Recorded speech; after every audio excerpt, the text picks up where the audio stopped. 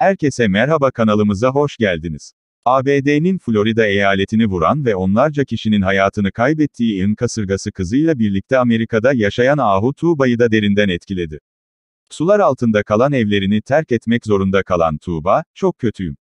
Allah kimseyi kimseye muhtaç etmesin. Şimdi ne yapacağız hiç bilmiyorum, ifadelerini kullandı. Bir döneme damga vuran Ahu Tuğba, uzun yıllardır kızıyla birlikte Amerika'da yaşıyor.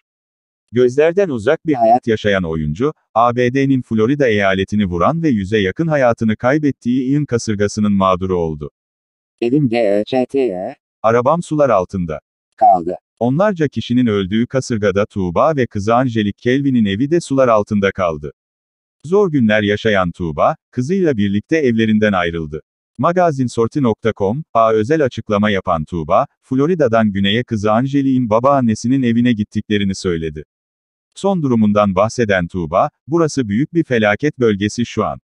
İn Kasırgası Küba'dan başladı, orayı mahvederek buraya geldi her yeri paramparça ederek. benim evim göç. Geçti, arabam sular altında kaldı. Allah kimseye bir daha yaşatmasın, dedi.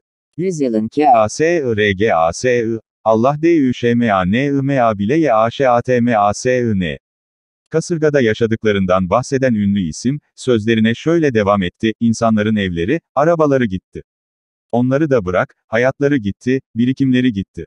İş yerleri kapandı. biz de hiç uyumadık. Arka taraftaki iki katlı binaya çıktık. O bina olmasaydı yaşanacakları düşünemiyorum bile.